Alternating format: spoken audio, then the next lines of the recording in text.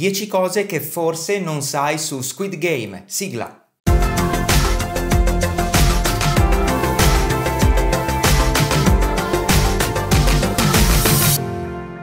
Come è nato Squid Game? Hang Dong-hyuk, l'autore della serie, ha detto di essersi ispirato alla propria vita per crearla. Quando ha iniziato a scrivere le prime puntate, infatti, si trovava sommerso dai debiti e non trovava il modo di uscire da quella brutta situazione. L'amicizia tra i protagonisti. Il legame che si vede sullo schermo tra Seong-yoon e Cho Sang-hoo è vero perché il regista ha voluto che i due si frequentassero realmente anche al di fuori dal set. L'obiettivo era restituire una fedele alchimia tra i due, i Dalgona. Tutta la puntata dedicata a questi biscotti è diventata un cult, tanto che in Corea la richiesta per questi biscotti è aumentata in modo vertiginoso. Scene improvvisate. Siccome molti membri del cast hanno mostrato fin da subito un forte affiatamento tra di loro, il regista ha lasciato ben volentieri che questi interagissero tra di loro nel modo più naturale possibile. Il risultato? Moltissime scene sono improvvisate. Quali?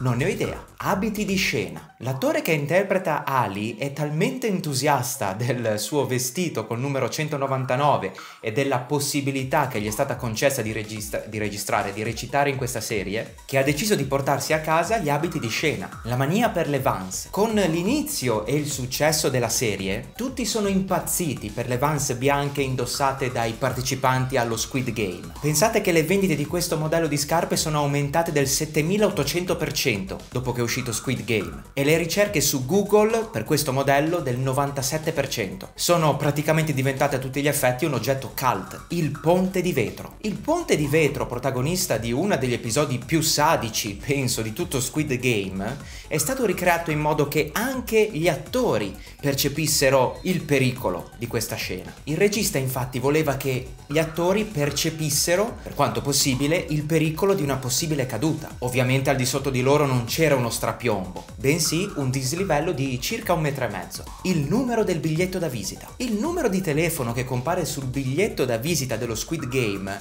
bene sì, l'avete capito, esiste davvero. Appartiene a un cittadino coreano che dopo l'uscita di Squid Game ha ricevuto migliaia e migliaia di telefonate. Il colore delle tute. Come mai sono stati scelti il verde e il rosa? per le tute indossate dai protagonisti e dagli aguzzini di Squid Game. Le tute verdi dei giocatori alludono alla loro totale perdita di personalità. Finiscono di essere delle persone per diventare dei meri numeri. Il regista inoltre ha precisato che questo colore gli ricordava quello delle divise che si utilizzavano a scuola durante l'ora di educazione fisica. Il colore rosa invece ci restituisce un'idea di purezza, di innocenza. Eppure sappiamo bene chi indossa queste tute. Ecco, questa è stata una contraddizione voluta proprio dal regista, allo scopo di inquietarci ancora di più. Gli indizi di Squid Game. La serie aveva sparso qua e là alcuni indizi relativi al fatto che, come scopriamo nel finale della serie, il partecipante numero uno era in realtà uno dei VIP, il creatore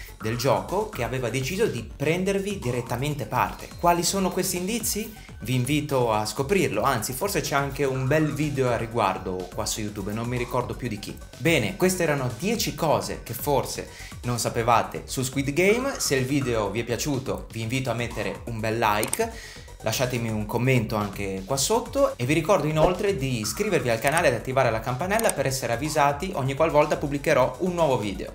A me non resta altro che ringraziarvi della visione ragazzi e darvi appuntamento ai prossimi video, sempre qui su Fruit the Looking Glass, mi raccomando. Ciao a tutti!